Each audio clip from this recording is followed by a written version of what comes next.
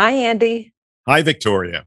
Well, today on Body of Wonder, we have uh, the distinguished Dr. Michael Balick joining us. He's really a leading scientist in the field of ethnobotany. He's also a longtime friend and colleague of mine. Uh, we were both uh, students at the Harvard Botanical Museum long ago. He was a graduate student. I was an undergraduate, and then I was in medical school when he was a graduate student. And we were both studying under Professor uh, Richard Evans Schultes. We'll talk about him some in the podcast. So we have a lot of connections. And about 80 years of combined experience in ethnobotany. Yes. well, let's get Michael on.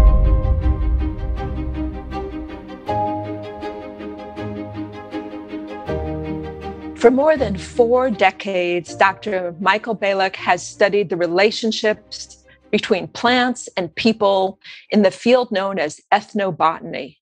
He is vice president and director of the Institute of Economic Botany at the New York Botanical Gardens. Most of Michael's research takes place in remote regions of the tropics, where he works with indigenous cultures to document plant diversity and the traditional utilization of medicinal plants. He has served on advisory panels for the National Institutes of Health and is on the board of trustees of the American Botanical Council. Dr. Balick has authored more than 150 scientific papers and written multiple books. Most recently, he authored Plants, People and Culture, The Science of Ethnobotany with Paul Cox. Welcome, Michael. Oh, it's great to be here, Victoria and Andy. Wonderful to see you. Same. Well, Michael, I want to begin by having you define ethnobotany and speak a bit about your work. Well, ethnobotany is the relationship between plants, people, and culture.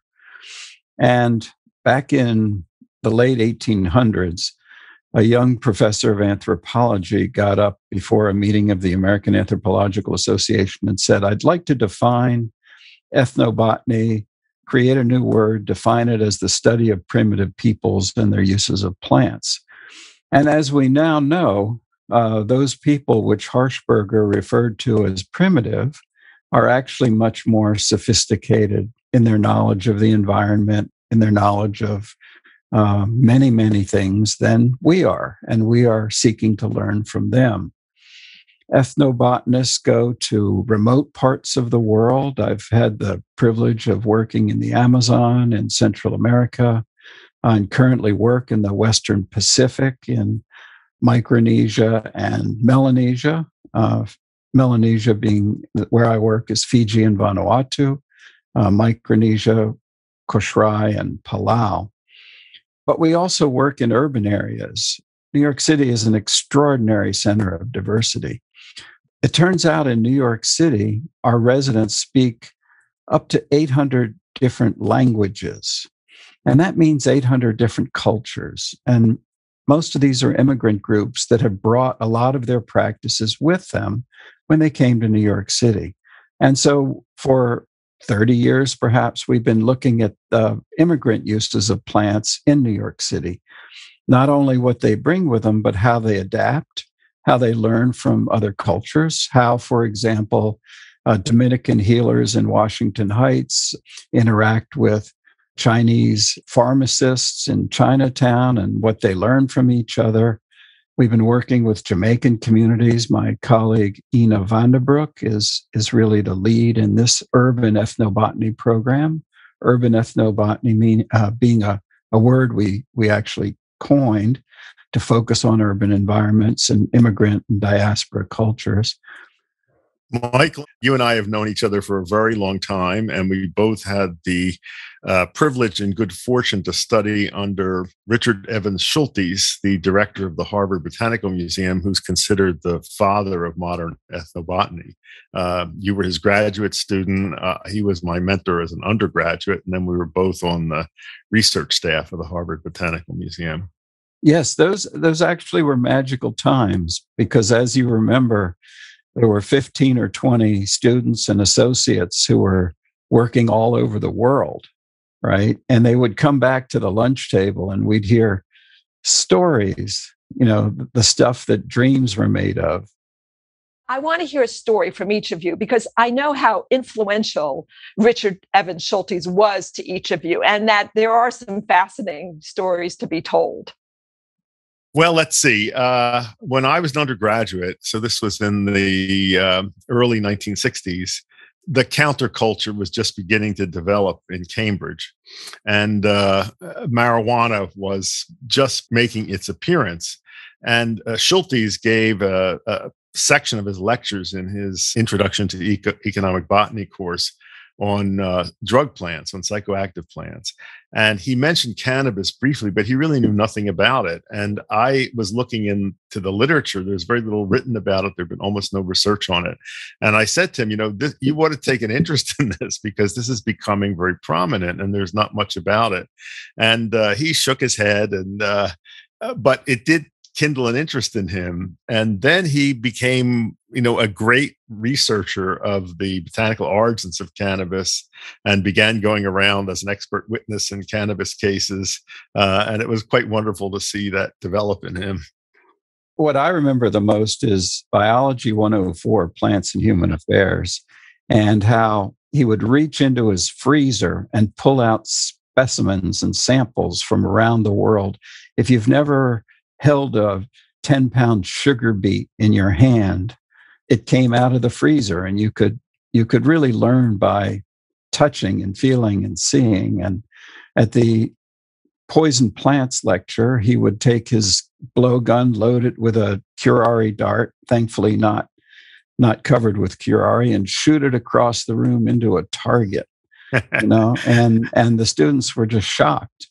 I used to say that that was the only course uh, in my academic career in which I learned anything practical.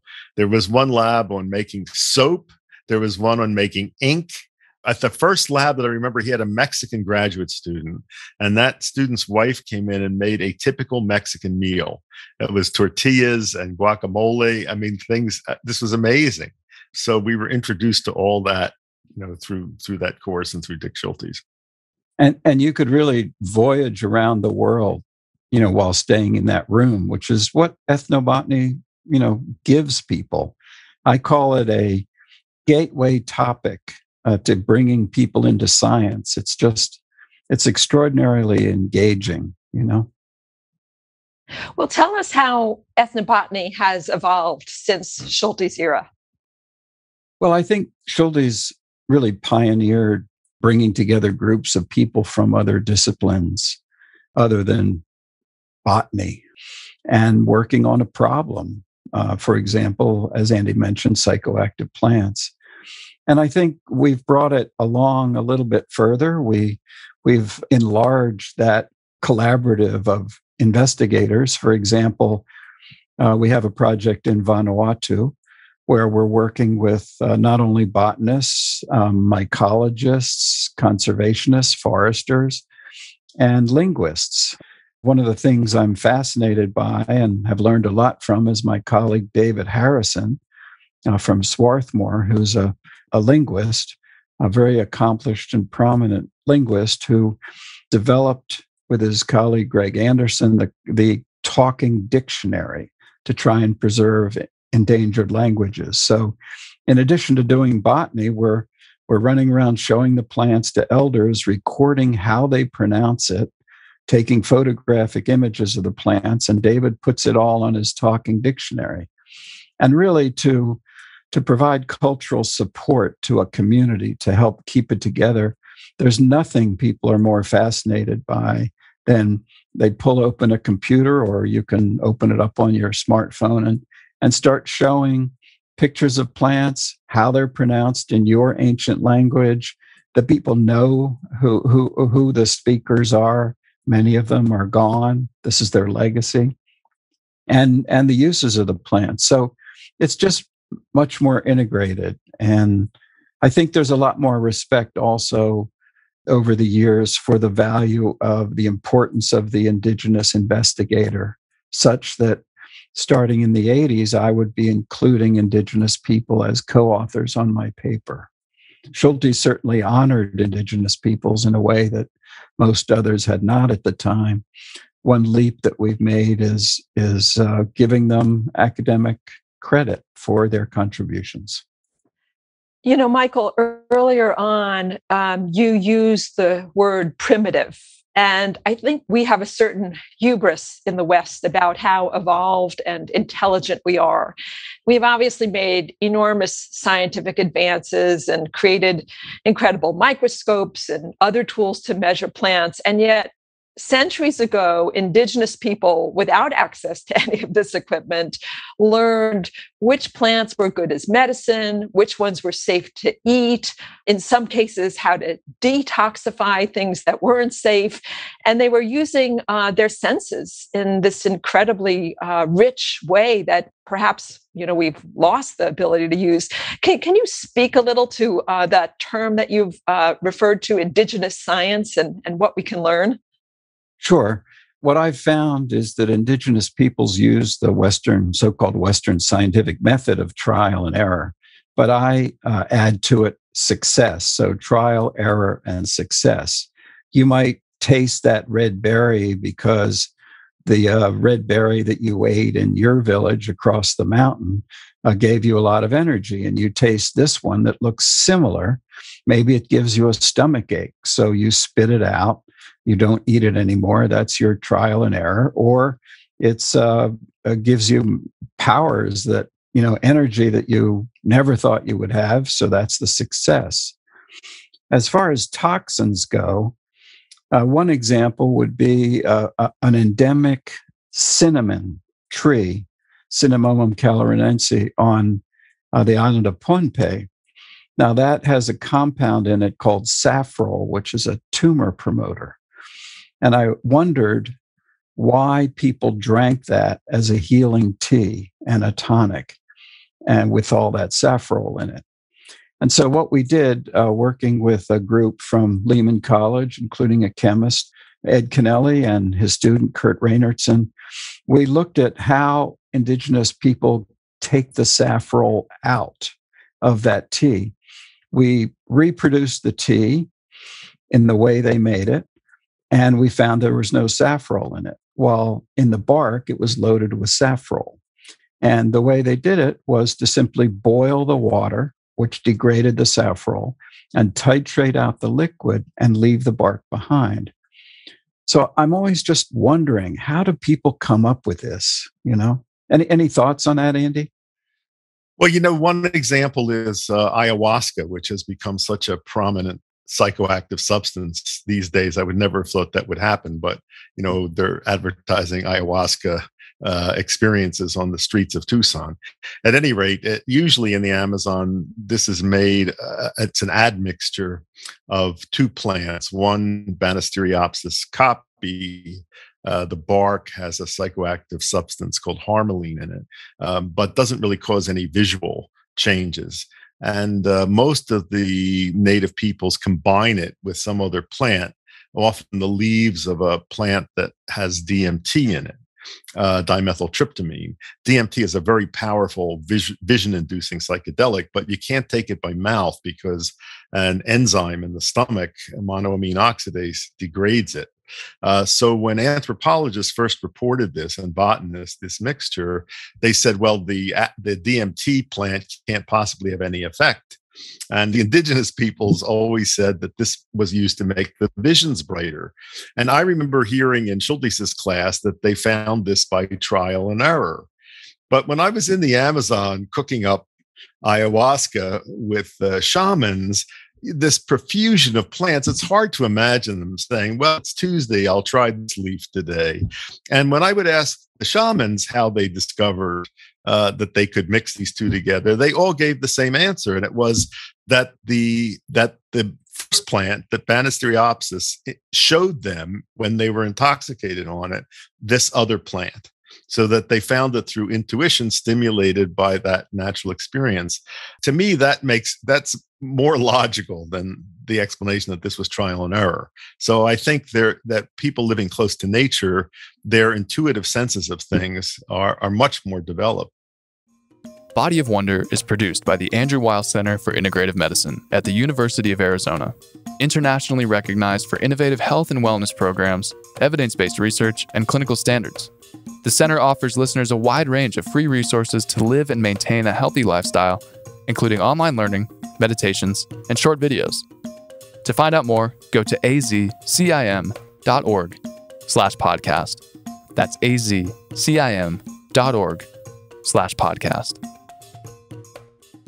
Mike, I have a practical question for you. Uh, what about the issue of intellectual property with regard to this kind of research? Because there's been a history uh, in the past of pharmaceutical companies and others uh, exploiting this indigenous knowledge uh, and then developing products for profit. And there's not been compensation either in terms of uh, giving uh, intellectual credit to or or monetary credit to the people who that they learned this from. Yeah, that's that's a great question, Andy. Um, in the last 30 years, really 40 years, starting in the 1980s, people's in our field in ethnobotany started saying, wait a minute, if these contributors are are intellectually uh, deserving of authorship, they're also intellectually, uh, uh, financially deserving of any benefits that come from this. And the first real push came from the National Cancer Institute. Uh, we had a, a collection contract to collect 1,500 uh, samples a year from around the New World tropics. And the person running that contract at the NCI at the time, Gordon Cragg, said, and I want to make this a model of benefit sharing. And this was again in the late 80s before people really thought about this. So the US government actually pushed forward this idea that people were deserving of compensation. And so over time, we developed short term compensation, medium term, long term, understanding that in a pharmaceutical research project, um, 99.9% of the plants will not have a, an economic yield. Um, so there were short term benefits. For example, we worked with a, a company then titled uh, Shaman Pharmaceuticals, now Jaguar uh, Pharmaceuticals, Jaguar Health, and they devoted a percentage of the cost of the field work to benefit the population in the short term. So Steve King, one of my graduate students, actually used funds and, and uh, had funds available and would ask the communities where he was working uh, what they wanted. Sometimes it was uh, an airstrip to bring people in and out in an emergency or barbed wire to keep their cattle from munching on the forest or a little museum that um, they could document their own culture. So these short term benefits turned out to be really significant. And over the long term, in the case of a jaguar, a plant that they worked with called Croton lechleri or Sangre de Drago uh, was approved by the FDA for the treatment of chronic diarrhea in, in patients that couldn't tolerate their uh, antiretroviral therapies.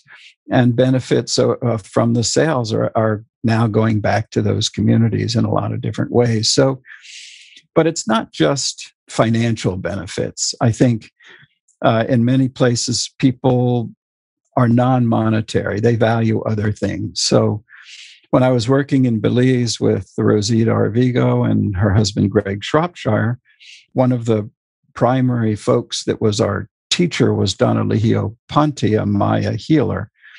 And an early, early paper that I authored in the co authored in the early, I don't know, 90s, uh, identifying a plant that had potential anti cancer value. Uh, Don Elijio Panti was listed as one of the authors on that paper. And what he did with that paper was was nail it to the wall of his little house, his modest little house in Belize. And people would come in and he would show them. He had about, I don't know, 30 or 40 patients a day. He would show them, he would say, Soy garantizado. I'm guaranteed. Look at this, look at this paper. I'm a published scientist. You, you, you know, you should pay attention to my uh, wisdom on healing. So it's, it's a lot of different things. Andy, one of the things that we still hear sometimes from skeptics is there's no value whatsoever to botanicals now that we have the scientific methods to create pharmaceutical drugs. And yet, in integrative medicine, we teach our fellows that there are medicinal plants that benefit human healing in areas where we have no medication. And I'm wondering if you could give an example or two. And then, uh, Michael, I'd like to turn to you. Well, Victoria, first of all, you know that for years I have argued that whole natural products with their complex mixtures of constituents have different and often better effects than isolated compounds. And for many years, uh, I was ridiculed for writing about that and saying that. That's really changed. I think there's been uh, appreciation of the fact that complex natural mixtures are different and valuable, and research has changed. One example for, of what you asked for is uh, milk thistle. Uh, Silybum marianum. Uh, this is a, a non toxic plant that has the remarkable ability to stimulate metabolism of hepatocytes, liver cells, and protect the liver from toxic injury. Uh, we don't have anything like that in conventional medicine. We, we know a lot of things that damage the liver, including a lot of our medically used drugs, uh, but we don't know anything that protects the liver. This has even been used intravenously as a treatment for deadly amanita mushroom poisoning.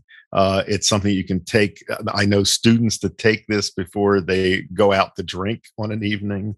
People take it who have or exposed to toxic uh, volatile solvents, but an extremely useful plant. And we have nothing like that in conventional medicine you just mentioned that we're beginning to appreciate the value of whole plants and it seems like one of the places where that's coming through really strongly is cannabis. Because even the lay you know people see folks selling you know cbd and and they're somehow reassured there's no thc and yet you know we know that it's the complexity of all of these different cannabinoids and terpenoids and you know other chemicals in cannabis that that gives it its remarkable uh, healing properties. Yeah, that's a particularly complex one with so many different active constituents. But this is the general pattern that plants have mixtures often of related compounds. You know one might be there in the greatest amount and and reproduce most of the interesting activity of the plant but it's modified by all these secondary constituents that we've ignored until very recently. But as i say there's really been a shift now in research i think also in in uh, practical knowledge of practitioners. Yes and michael you were going to add well, no, I was wondering, Andy, can you get intravenous uh, milk thistle extract in this country, or no? Not as far as I know. I think the FDA has not approved it. So we do a lot of poison plant information and work with a poison information center um, uh, in this area, and there are always a half dozen people who collect amanita mushrooms mistakenly, thinking they're other mushrooms and 96 hours later they're gone. Or they um, have a liver transplant. right if they're fortunate enough but you know in europe you you get the intravenous milk thistle and you survive with your liver and there's a lesson there you know? Yeah. mother nature has figured this out a long time ago and we're just sort of catching up which is why we're the primitive ones there are 30,000 medicinal plants that indigenous cultures have used. And we've only looked at 300, maybe carefully. And out of that 300, 25% of our prescriptions in your local pharmacy, you know, are based on. So there's a lot more to be done. Maybe we've gotten the low hanging fruit, but now it's time to listen to the wisdom of Mother Nature. Michael, you also speak of another fascinating concept that plants can potentially direct activities of people. And you, you speak of a concept of calendar plants. Can, can you explain what those are? Sure. Uh, my colleague Greg Plunkett and I and, and others work, as I mentioned, in Vanuatu in the south, the southern islands. And there's one island, uh, for example, called Aneityum Island. It's an island of, oh, seven or 800 people. And they have gardens. They grow most of what they consume. And they know to plant their gardens when certain plants flower. So when, when flowers appear on a certain plant, they know it's time to plant yams. When they appear on another plant, they know it's time to harvest yams. When the needles of casuarina, a large tree, turn brown, they know that the sun has shifted and that it's time not to work so hard. You know, stay out of the, the midday sun. It's too intense. Um, so the, the, the plants are telling them something. Since they're island peoples, they live in a marine habitat. And when certain other plants uh, flower, they know it's time to harvest sea urchins or certain fish because there's more fat, there's more meat in the in the animals, the sea creatures. So plants really direct people's lives in in that way. The message plants uh, we also talk about if you if you uh, are walking through a village in, and it's not yours in the old days people might attack you thinking you're a threat uh, but if you have certain species of plants that you put behind your ear, the message is, I come with no threat. I come in peace. So it's fascinating to study, you know, the implied messages from plants as, as well as their actual uses. So it's much more than just attunement with the seasons as certain things come into flower. Yes, and also the alignment of the sun, for example, and the intensity of the sun. Uh, we have a grant to study indigenous concepts of daylight and its effect on their plants and its effect on their lives in Fiji and Vanuatu. And it it's fasc- absolutely fascinating to watch local people observe how the sun impacts their lives and develop rituals to make rain, in other words, to hide the sun, when they want to plant their crops, things like that. Mike, you're a regular lecturer uh, to our classes of fellows uh, at our Center for Integrative Medicine, and your lectures are much appreciated. How much uh, other contact do you have with with practicing physicians, and do you see uh, greater interaction between ethnobotanists and and practitioners? Well, I think the answer is a resounding yes at many different levels uh, next week a group of fellows in emergency medicine under the uh, a wing of Lewis Nelson, who uh, Lewis and I recently co-authored a book, The Handbook of Poisonous and Injurious Plants. They're going to come to the garden for a tour of toxins, poisonous plants, to the New York Botanical Garden. And we get a lot of um, questions from emergency departments about what's this plant and what's that plant we can't offer advice. As I say, my patients are green, but we can offer a determination of the species to allow the emergency room physician to move forward or not with a intervention. At the same time, New York City being an immigrant community, we do a lot of work with the Dominican community, for example, and have for many decades. Dominicans use medicinal plants, and they also go to clinics and emergency departments when the uh, when they're seeking help. Now, the physicians in the emergency department or in the hospitals don't always understand plants, and they don't understand what their uses are and what people are attempting to treat. And so, uh, again, my colleague Ina Vandebroek coordinates the program to teach physicians in our area cultural competency in dealing uh, with a patient use of, of plants. So, training physicians to be respectful, to be understanding, to speak the language of plants, and to be able to have an interaction with the particular immigrant group about what they've been using and how they can then alter their treatment accordingly. So lots and lots of contact with physicians and healthcare providers.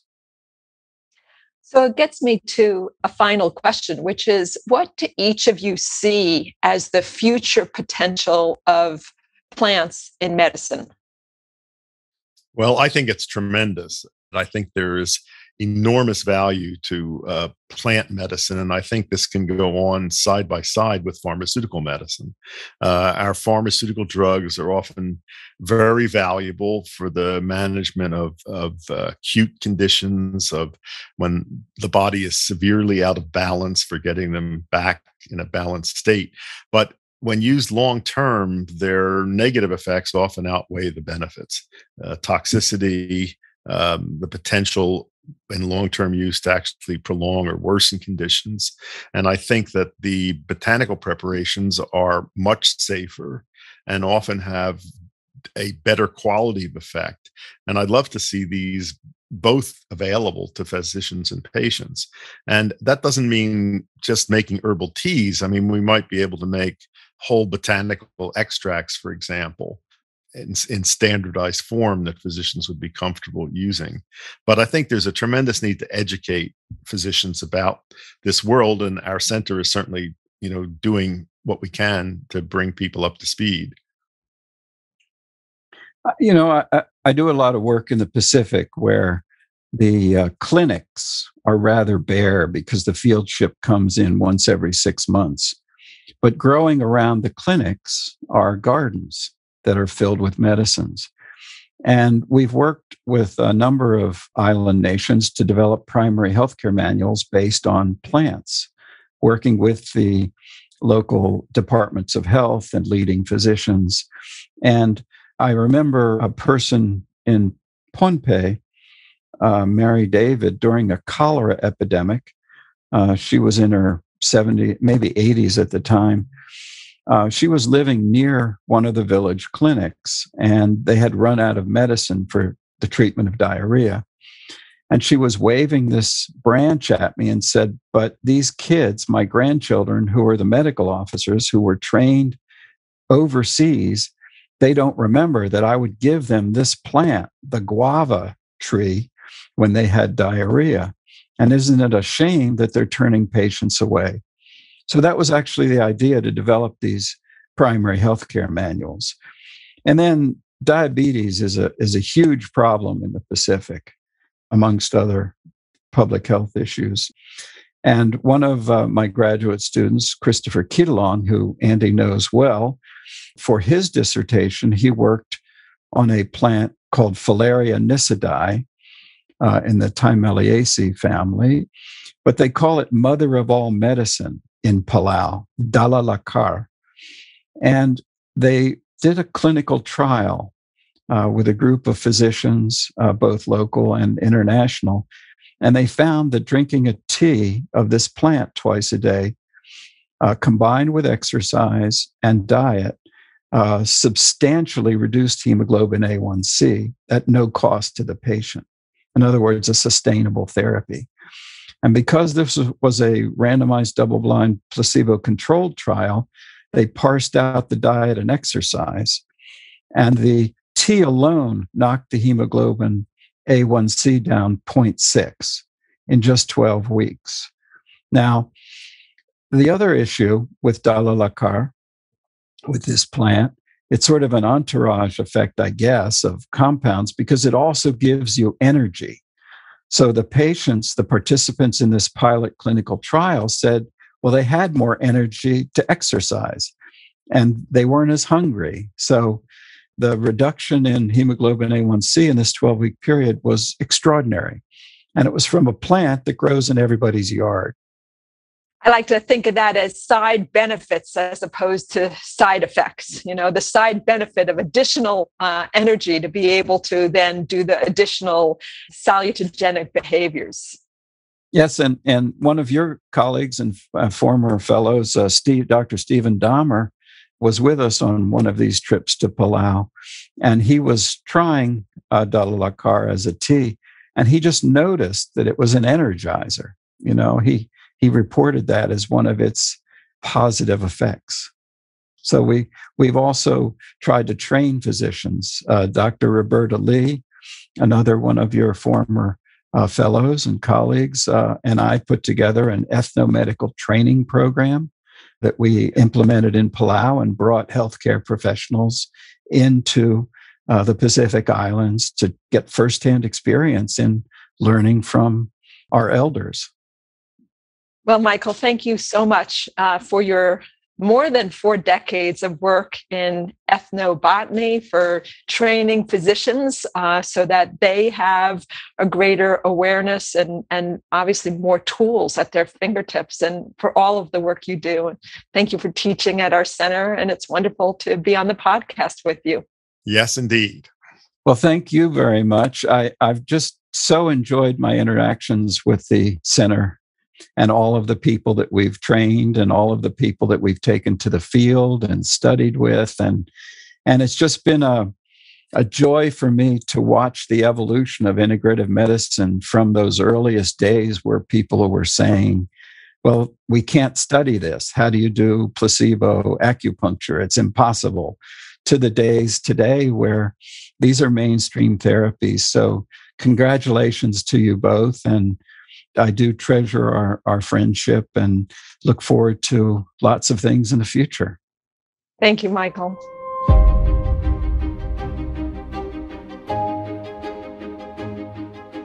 Listeners, this is Dr. Victoria Maizes. We would love for you to send us your questions for Andy, myself, or for our guests. You can call us and leave a voicemail by dialing 520 621 3950. Again, 520 621 3950.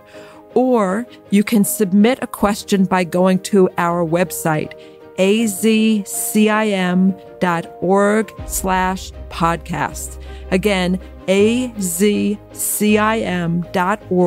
slash podcast. We will review your questions and try to answer as many as possible on our programs.